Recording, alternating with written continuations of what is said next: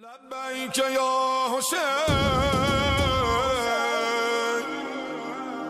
لبيك يا حسين لبيك يا حسين لبيك يا حسين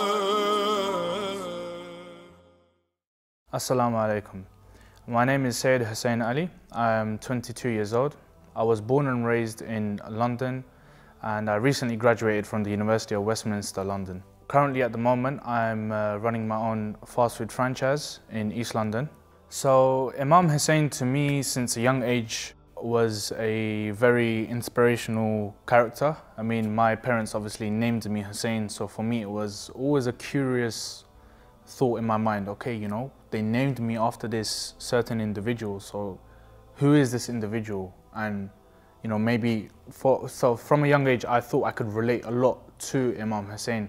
But how this was embedded within me was through, of course, my, my father and my mom taking me to Majlis since a very young, young age where I can even remember being picked up from, you know, from nursery and, and reception and being taken to the Imam Bargah and I'll be I'll be playing with you know little toy cars and stuff and I still have those nostalgic thoughts in my mind where I remember me being in the ladies section and then you know slowly slowly progressing and going to the you know to the to the men's section and seeing the way Azadari happens.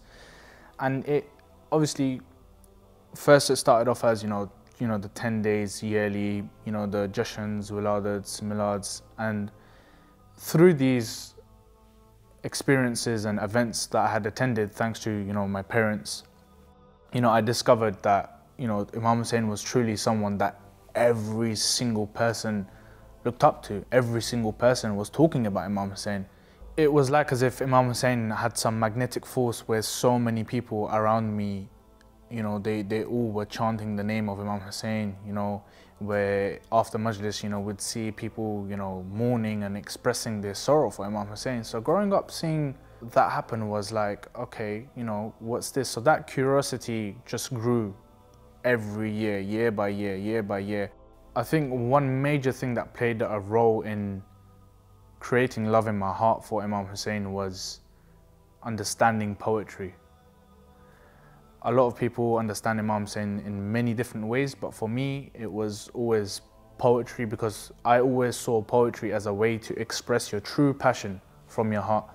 So I always saw Imam Hussein in the most beautiful ways, in the most beautiful, valiant ways that Imam Hussein salam was described. So of course, um, you know, attending the regular Muharram programs and then you know, as I grew up, you know, I slowly, slowly, you know, started helping out in the mosque, you know, whether it be serving niyaz to the guests or whether it be, you know, a steward at the Ashura procession. And that involvement gave me, you know, a sense of belonging with Imam Hussein. And I, I really thought that, you know, Imam Hussein is where, where I belong. My name is, I've been named after this man, you know, I look up to this man and everything was just, just perfect. You know, Imam Hussein was that that idol for me that I always looked up to. Obviously, at that young age, um, hearing after Muharram, you know, a lot of people were, you know, making plans. You know, some people are going to Sham, some people are going to Iraq, Karbala. You know, at that time, these places were open and safe to go to. So, um, Alhamdulillah, I think I was roughly about 10 years old when um, my dad booked tickets for me and my entire family to go to Sham so at that young age, I was exposed to ziyarat. However, at that young age, I still couldn't really grasp the real concept of ziyarat, where what it was, what I'm there to do. You know, I, I, I can still, you know, remember like being there and on Arba'in day, seeing so many mokibs, you know, come in front of Sayyidah Zainab's shrine. And I was a bit confused at that age. I was like, what's going on?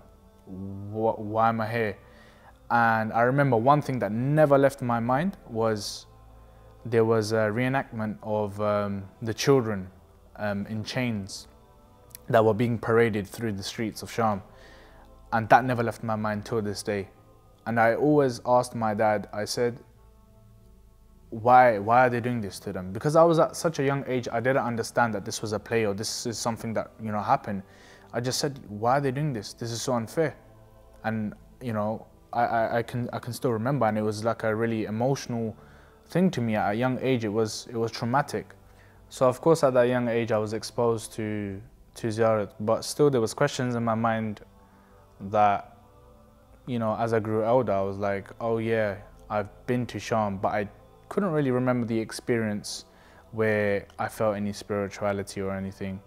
So every year goes by and I see so many people, my cousins, friends, um, you know, schoolmates, uni mates, and you know, they're all planning to go to Karbala and I'm thinking, you know, maybe I should go as well. When will I go? So one day, me and my sister, we, um, we had a conversation about going to Ziyara to Karbala.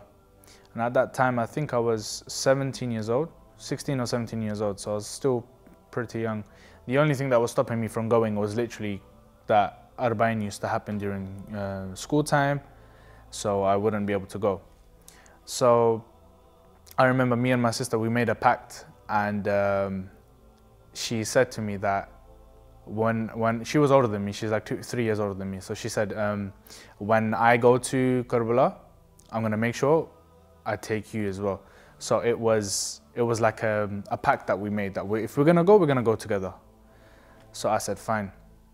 And uh, what happened is I think the year after, um, she she got an opportunity to go, and um, I wasn't able to because again it it came in exam time.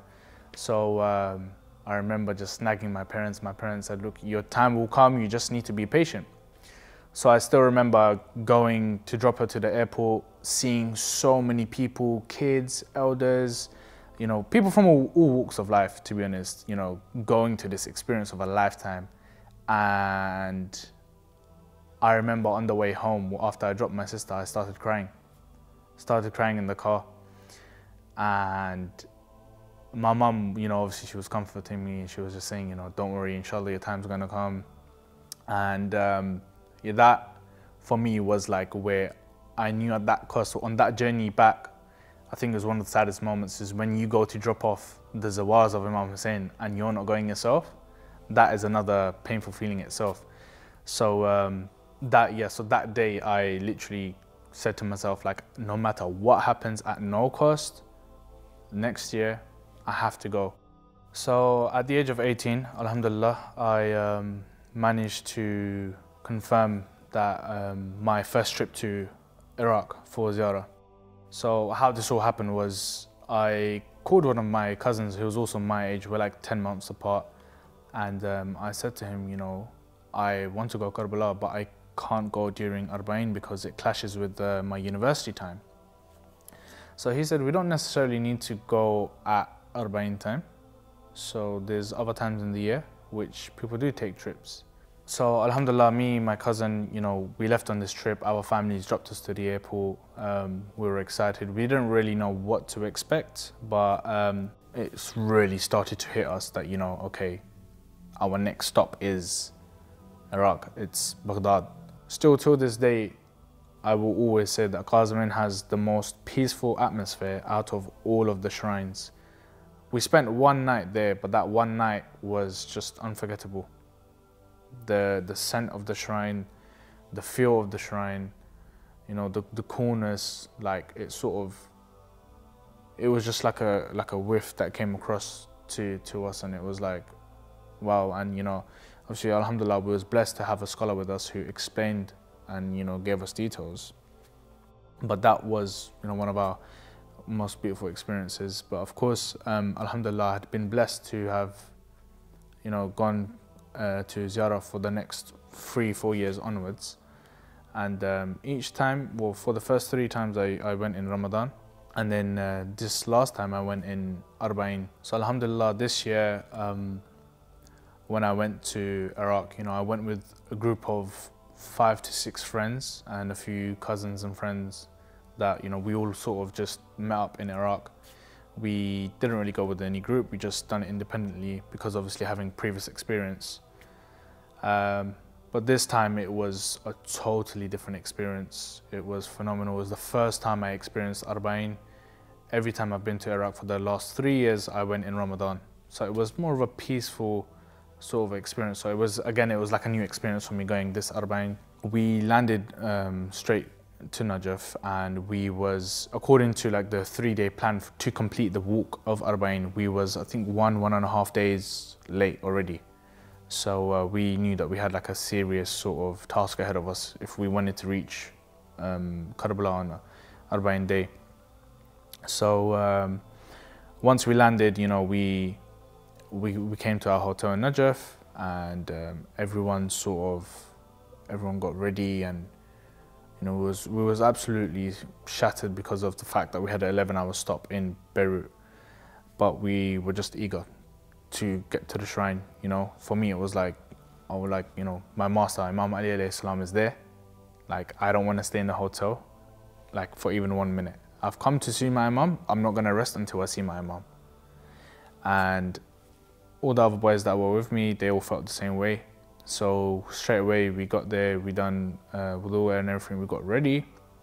We got our ziyarat books and we literally just head towards the shrine of Imam Ali. For a few of my friends, it was their first time going.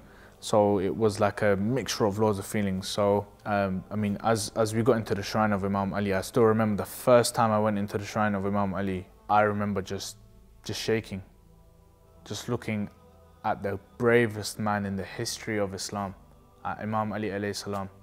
So for me, at that moment, I was just astonished. I just looked up and I see this amazing golden brick work art. Just, just it was just literally, I, I was speechless. Even now, when I think about it, I just become speechless because that's how beautiful the shrine was and is till this day. And I remember just feeling scared because I knew that I'm a sinner. I knew that I'm not someone who's worthy enough to to even enter inside Imam Ali's courtyard. Like, how have I come this close with with like the sins that I've committed? How have I come this close to Imam Ali? After we had done a ziyarat with all of my friends, you know, we recited a few nohas because one of my friends he has, he has a beautiful voice, so he, we recited a few nohas and one of the most beautiful things was that he was reciting in Urdu, but people who were Iranian, Iraqi, you know, from, from all over the world, they just stood there and they were listening. And to me, I know one thing, and they only listened because that was just what all the lovers of the Ahlul Bayt, they have no language. We only have one language, and that one language is the love of Ahlul Bayt. As we had, um, you know, done all our amals and prayed and everything, you know, we had a few hours literally before we had to set off for the Arba'in walk. We went back to our hotel. We slept for about two, three hours. We woke up for Fajr.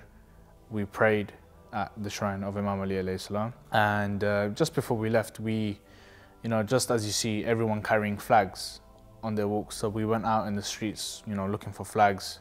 And I remember just before I'd set off, um, I spoke to my mum on the phone, you know, she was like, you know, you must be really tired. You guys have slept two hours. You stopped in Beirut for like 11 hours and you guys weren't even allowed out of the airport. So I said, Mom, you know, don't worry, inshallah, we're going to be fine. She said, you know, make sure you have breakfast.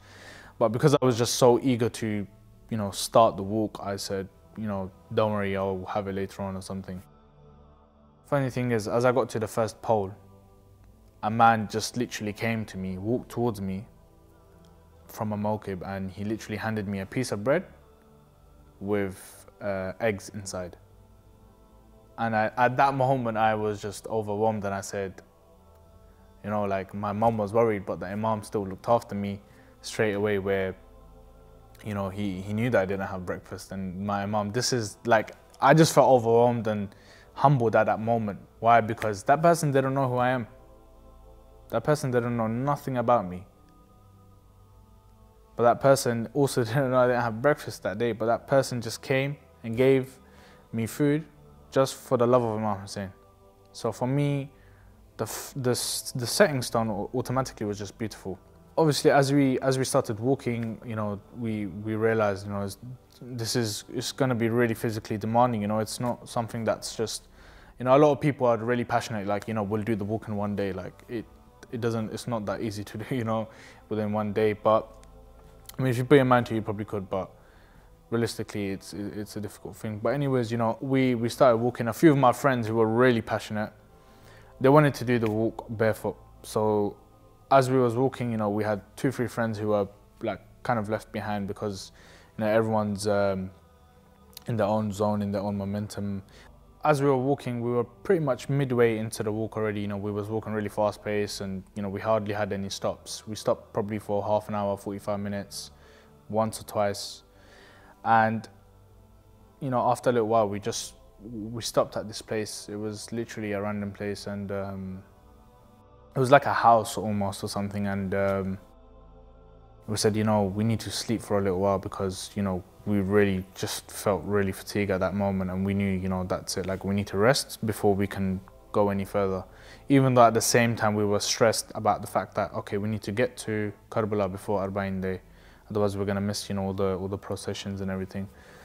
So we we literally just walked into this um, this little house. It was like a one long rectangle room, and this this guy who was running that mokib, literally he just came to us. Obviously, we couldn't speak Arabic, and the only language we knew was you know English or Urdu. One thing that I realized, in fact, that when I came back was the fact that how beautiful it was the way he treated us. We didn't really speak to him because we couldn't speak to him but he looked after us in every single way. He gave us towels, he gave us water, he gave us food, he gave us pillows, he gave us every necessity you could think of that you would need in a house. And our relationship with him was nothing but Imam Hussein. And that one thing that at that moment, what my biggest thing that I learned from that ziyarat trip was that if I could implement that same thing that we we witnessed and experienced, that love and respect for the followers of, for the guests of Imam Hussein, if we could have that in every Husseinia all over the world, then we would be replicating the Arba'in walk all around the world. And that experience for even people who cannot go and visit. But I believe that that's one thing that I, I really learned that respecting the guests of Imam Hussein to such a level even in London where they come to your majlis, you should be asking them, is there anything we can do for you or can I, can I get anything for you? But I feel that is something that I personally learned a lot during that Arba'in walk. So of course after that day uh, we we set off again but we noticed that we were short of time so we had to jump onto like a mini bus literally we jumped onto any bus and uh, we told them drop us like a few hundred poles just before Karbala because we wanted to, you know, experience the, the, the struggle to get to Imam Hussein. Because, you know, my previous three times, you know, alhamdulillah, I had, you know, I would have a taxi taking me from Najaf to Karbala. So I really wanted to experience, you know, the struggle this time. And um, I remember just, just walking, it was night time and I was absolutely like, just so tired at this point. I was like, like literally taking baby steps. And um, me I, I, looked at all my friends you know they were they were also really really tired. And then we saw the sign of Karbala and it said 5000 meters. And that's when it was like okay we we are nearly there. We are nearly at the shrine of Sayyid Shuhada so at that moment even though we were so tired, like I just felt like I couldn't walk. But the moment I saw that sign, it was like a boost of energy within my soul, within my body. It was like something was just dragging me towards Imam Hussein. Literally, just literally dragging me. I, I, I, couldn't even control myself. I was just walking non-stop. There was so many people as we got closer to to um, the shrine of Imam Hussein. I remember looking left, looking right, you know, thinking, where's the, where's the Golden Dome? Where's the Golden Dome? I remember as I, I kept talking straight with my uh, friends and cousins, there I saw the Golden Dome of Hazrat Abbas salam. And at that moment, I did nothing. I did not look left, I did not look right.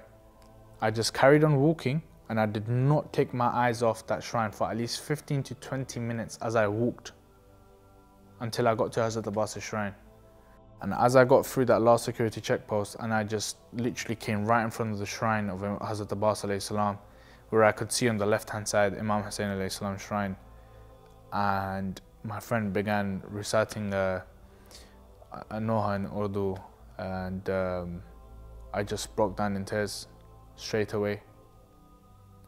That moment for me, the struggle to reach Karbala is the beautiful way to do ziyarat because my previous three times, I remember reaching Karbala and not, not being able to cry straight away. It was, it was really overwhelming for me.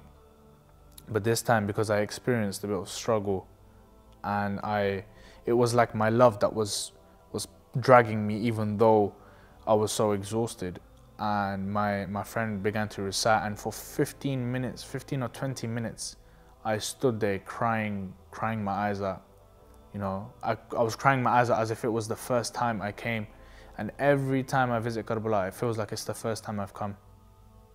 Obviously, we, we tried to go to the shrines, but we just, because there was so many people and it was the eve of Arba'in, just, we just couldn't get inside the, the haram. So that was just really like a, like I, I was just anxious 24 7 you know i was like i need to get inside you know where if somebody was like you know i need to go do this or i need to go do that i would just be like i need to get inside the shrine. I'm not able to get inside the shrine. So for me it was just you know where I often describe the moment when you grab the zari of Imam Hussein, Imam Hussein alayhi salam, it's like as if my soul leaves my body and goes to Imam Hussein and that moment it's it's just something that I can't describe I can't put to words but it's something that you can only experience. So getting inside the shrines of Imam Hussein and Hazrat Abbas was probably one of the hardest things to do um, due to the fact that the amount of people that were actually in um, in the city of Karbala and the amount of people were still that were pouring in. So um, I remember we, we made numerous plans with, with all the boys, you know, okay, look, let's let's go in like this or let's go in like that. And uh, I remember what we what we planned to do was pray Maghrib at, in in Bain al Haramain. And I still remember like Bain al Haramain, you know, praying Maghrib and Isha in Bain al Haramain was like everyone was like there was not even space, you know, to go into sujood, you know but you just somehow everyone still managed to do it. That's the, that's the beautiful thing about Karbala. It's such a small, compact city, but it caters for so many millions of people. Goes beyond my my thoughts. So um, we we prayed Maghrib, and as we as we finished, we saw loads of mokibs that were going inside the shrine of um, Hazrat Abbas salam. So we saw um, a group of uh, Pakistani pilgrims that were going in, and uh, we we said, you know, can we can we join you guys? And they said, yeah, why not?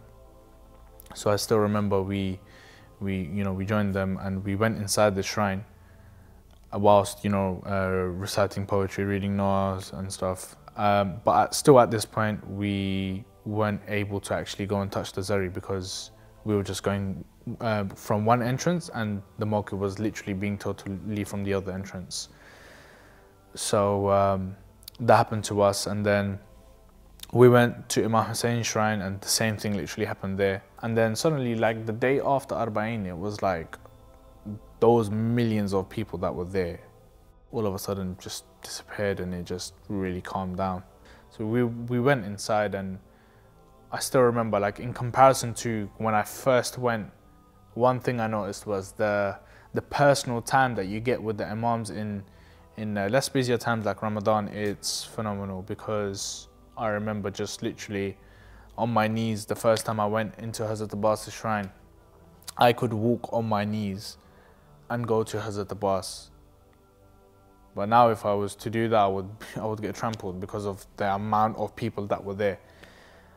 But I, I still remember you know, going into Hazrat Abbas's uh, shrine just by the Zari uh, with my friends, and um, you could you could feel you could feel at that moment. You know, it was it was a really emotional and sentimental uh, moment for me. And one thing which I was saying that I, I really did miss out on my first three ziyarats was not being able to mourn properly for Imam Hussein. As I went um, during the time of Ramadan where I was able to mourn for Imam Ali alayhi salam, but I wasn't able to mourn for Imam Hussein alayhi salam when I did visit Karbala due to there not being majlis like in in the days that I, I was there. There's no other way to get closer to your Imams or to increase your attachment to the story of Karbala by you know by by going to ziyarah and by by looking at these things you know so after visiting uh, all the maqams in Karbala and in and around Karbala um, you know it was time to you know say goodbye to Imam Hussein once again. And uh, I still remember the first time saying goodbye to Imam Hussein. I obviously like everyone I didn't want to say goodbye to Imam Hussein.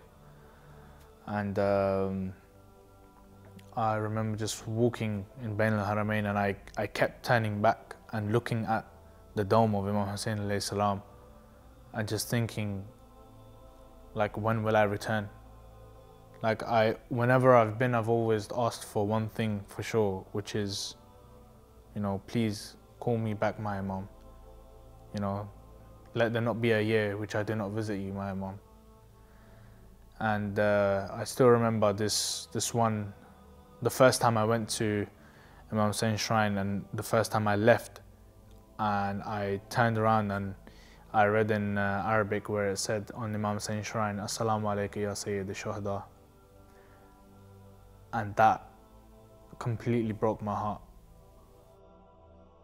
Whilst I was uh, walking off and then in front of me I would see Hazrat Abbas's shrine for me that moment I just didn't want to leave. It was like a baby leaving his mother and I was just just weeping as I was walking off. I was weeping, not knowing whether I will return, not knowing whether this country will still be safe for me to return next year. But that trip, you know, where all of us friends, we had ups and downs within the trip, but that brought all of us together. And with that bond that we made in that trip is something that no other trip can make. This is why I always say to, to youngsters that I know that don't miss out on your chance. Don't delay going to Ziyarat. These places, you don't know when the situation is going to change. You know when you can go. You can make it happen. Imam Hussein will always call you. You just need to make the intention and execute it. Because going to Karbala is a life changing experience. Karbala opens your eyes. Karbala sparks a revolution in your heart. Karbala makes you want to change. I came back from Karbala and my personal mission was to convince as many people as I can to go. Imam Hussein is not only for Shias. Imam Hussein is for Sunni, Shia, atheists, no matter who you are. Being a Husseini is just one thing. There's no race, no color, nothing is involved. So that was my one personal thing that when I came back, I I had in my heart that I'm going to try and take as many youth. I'm going to try and show them, you know, what what Karbala is about and make them feel the experience that I experienced at a young age. So when I came back from Karbala, my intention was and my plan was to literally, you know, when when am I going back next? So Alhamdulillah, since the first time I've I've been to Karbala, I've been going consistently yearly. And the love of Imam Hussein is just completely, you know, just overflowing within me to the extent where I just thought, you know, everyone deserves the right to know about Imam Hussein. Imam Hussein's sacrifice isn't cheap. So I had an idea where I spoke to my mom and I said to my mom that I want to raise the banner of Imam Hussein on my graduation day. On the stage in front of everyone that's there, people that I've studied with, people that I've also told about, you know, Imam Hussein. So she said that's fine. So uh, my mum made a flag, a velvet flag, a black velvet flag with golden embroidery and golden uh, Swarovski crystals, and she she wrote Ya Hussein in that flag, the most probably for me the most beautiful flag in the world. And I still remember lining up just before I got onto the stage and where they said my name. And for me, it was the proudest moment of my life. And to this day, the best day in my life is where I raised the flag of Imam Hussein on my biggest achievement in my life so far. So if I was to sum up my experience of going to Ziyarah overall, I would say definitely that it's an unforgettable experience. It's an experience of a lifetime You know, whether you can go with your family or friends, you know, whoever you go with, you, you know, even if you go with people you do not know, I promise you, you will make friends for a lifetime.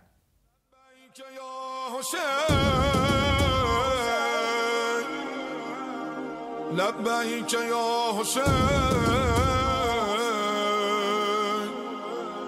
لبيك يا حسين لبيك يا حسين